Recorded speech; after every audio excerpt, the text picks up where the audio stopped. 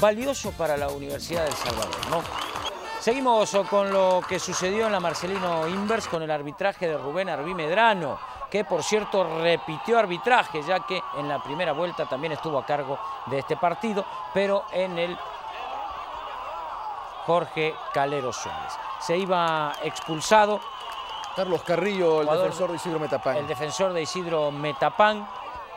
Roja directa. Se quedaba con uno menos el bicampeón nacional. Un bicampeón nacional que no iba a correr con mejor suerte aquí en el estadio de la Marcelino Invers. Una jugada elaborada, un par de rebotes, el zurdazo impresionante. Un zurdazo impresionante del capitán Alex Campos sobre tiempo agregado. Ya la finalización del partido. Mire, ahí le quedó suelta. Él había cobrado el tiro libre. Ahí la pesca como viene a bote pronto. Nada que hacer para Chapón González. Y de esta manera el Atlético Balboa con su segunda victoria consecutiva en el torneo. Pausa.